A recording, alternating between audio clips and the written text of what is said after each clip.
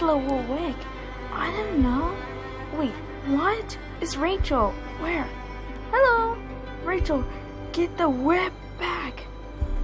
What's wig? That's Angela's wig. Huh? Hey, why is Becca as a baby again?